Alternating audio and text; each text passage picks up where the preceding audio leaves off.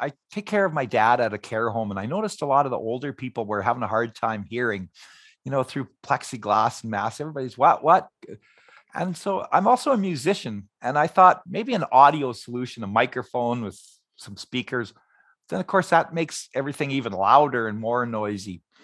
Uh, and one day I, I came across a, a Kickstarter thing as Velo uh, had an invention, a mask that just made a smiling motion as you talk. And I thought, well, that's kind of cool, but it's not solving a problem.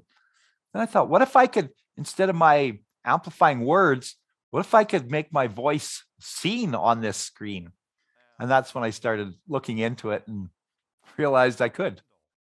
A mask with an LED screen built in, a computer chip, and a lithium battery. And we use speech to text and then send it Bluetooth to the LED mask. This is Voice Viewer Personal Closed Captioning Mask or PAT. Why I came up with it, he has dementia as well. And, you know, trying to talk to him, uh, he couldn't really understand words, but I go in and if I had a shirt on, said Toronto, he would say Toronto. Like he could, he could, he can read words uh, and talk the words. And so when I came up with this invention and started using it in there, he would repeat all the words that he was seeing. and so I knew right away, well, this is this is making an impact on him. He's noticing uh, that this is easier. He can communicate with me. This particular one, I could I could speed up the words and and we can make the the words flash uh, so that you'll see the words instantly.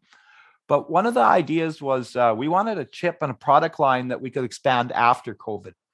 So uh, we uh, we also with the computer chip, you know, kind of shortage.